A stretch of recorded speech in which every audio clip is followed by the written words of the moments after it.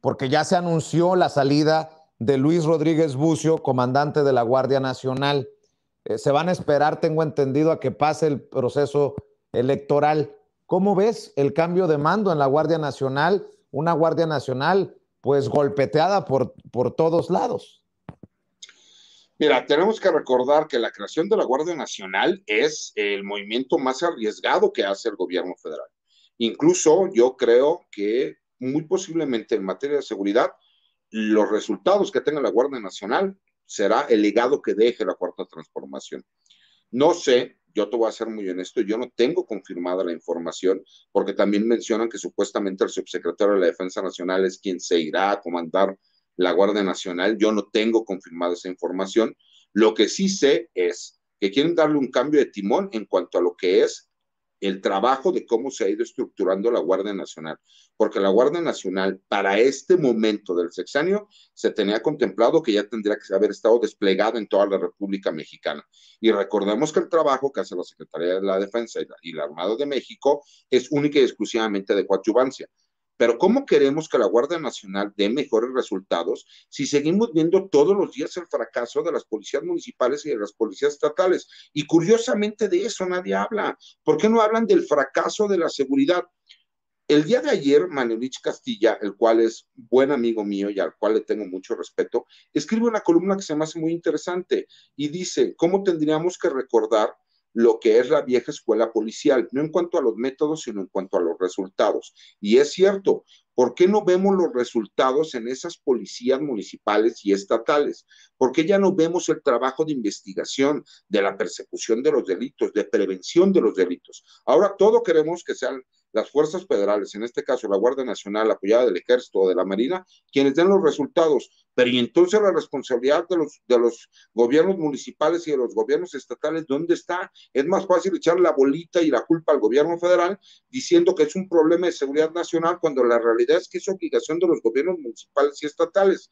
Y esto lo veremos y cada vez veremos que seguirán las mentiras y los fake news mucho más grandes porque se vienen elecciones, porque la realidad es que no les interesa la seguridad pública, lo que les interesa es echar la culpa al gobierno federal de que no son quienes brindan ellos la estabilidad que necesitan.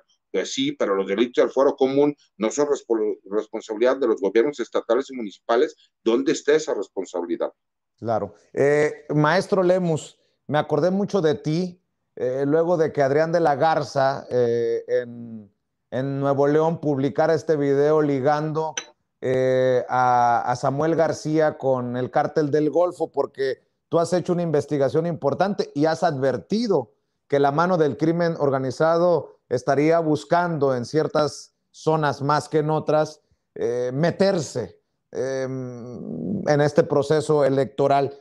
¿Qué piensas de esto hoy que también el gobernador de Tamaulipas Francisco García Cabeza de, Vaca, eh, reitera que algunos de los datos revelados en el expediente eh, por el titular de la Unidad de Inteligencia Financiera, Santiago Nieto, lesionaron sus derechos humanos de privacidad y presunción de inocencia en momentos en que también pues, se le menciona por y te ríes y la recita es la que calienta.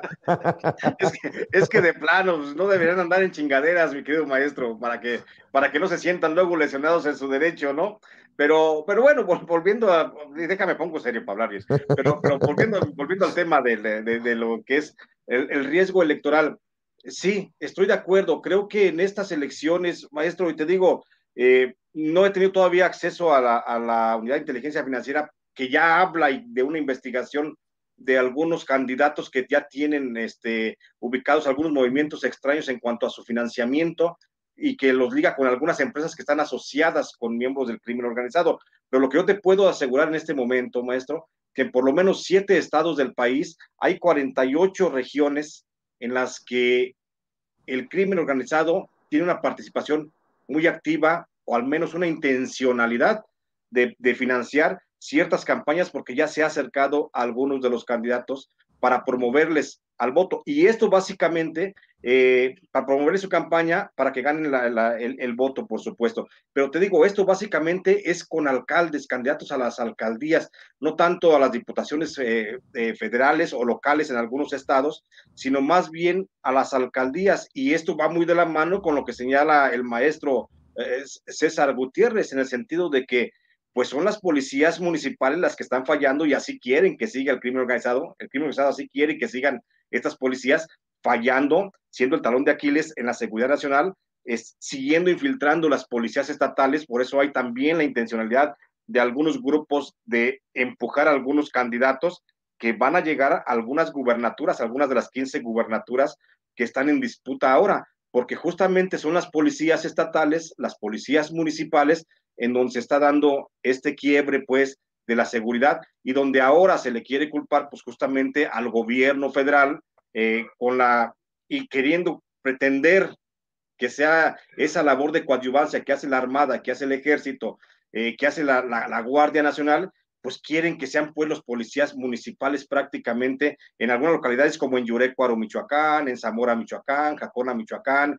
en Victoria, Tamaulipas, en bueno, te digo, son 48 eh, regiones en los estados de Chihuahua, de Coahuila, de Sinaloa, Jalisco, Michoacán, Veracruz y Chiapas, en donde el crimen organizado podría estar eh, prácticamente ya eh, sobándose los, dedos o lamiéndose los bigotes para ver a qué candidato en cada municipio, en qué región les va a poder este, garantizar la presencia del control de las policías municipales para seguir en esta expansión de sus actividades ilícitas, que ya no nada más, pues, debo insistir, ya no nada más es el solo trasiego de las drogas, sino que son otras veintitantas actividades eh, de donde tienen recursos económicos y que ya las hemos platicado en otras ocasiones, mi querido Vicente.